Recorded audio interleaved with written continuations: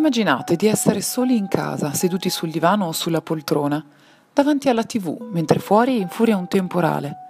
Siete persi nel vostro programma preferito quando, di colpo, ciò che state guardando si interrompe bruscamente, lasciando il posto a una sequenza di immagini che non vi spiegate e che vi inquietano profondamente.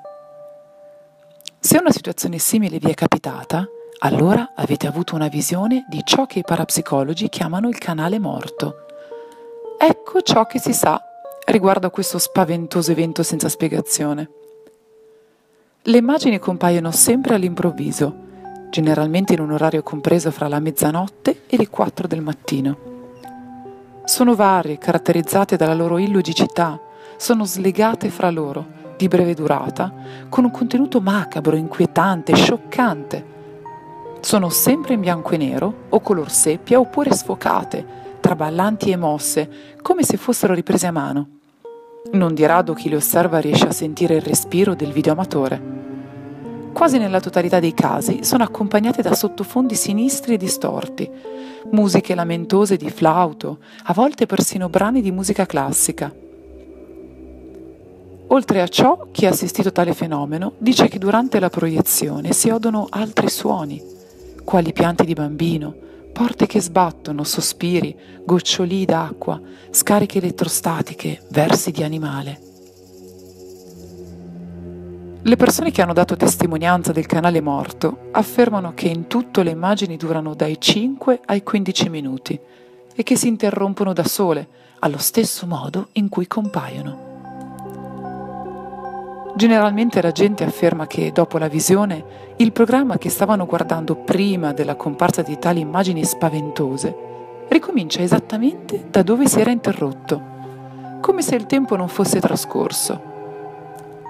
Numerose sono anche le testimonianze di coloro che affermano che mentre le sequenze comparivano sullo schermo, gli orologi si fermavano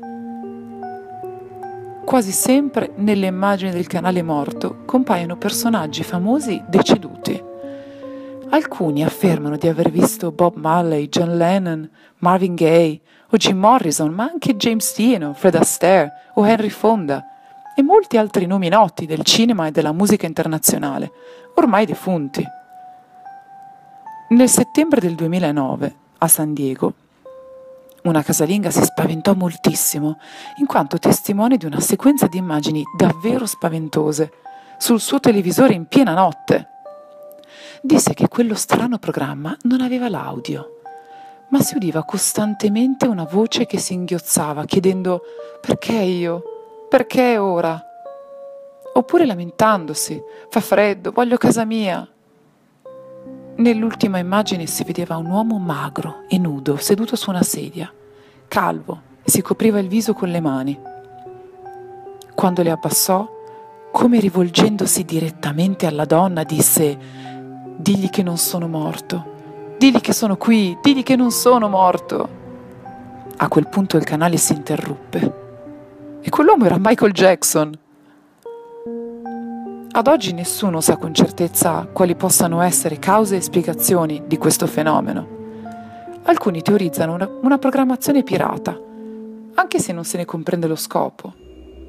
Altri invece pensano che la TV possa talvolta sintonizzarsi sull'aldilà, catturando delle sequenze di pensiero che appartengono alle persone defunte Seguendo tale ipotesi, molti si sono convinti che le persone famose, quelli che maggiormente hanno avuto a che fare con i mezzi di comunicazione audiovisivi, da morte tendano a usare gli stessi mezzi per proiettarsi nuovamente nel mondo. Il canale ha effetti paralizzanti su chi lo vede. Molti hanno avuto attacchi di panico, ansia, si sono sentiti inspiegabilmente attratti dalle immagini, sebbene ne fossero scioccati al punto da non riuscire a cambiare canale né a spegnere la televisione.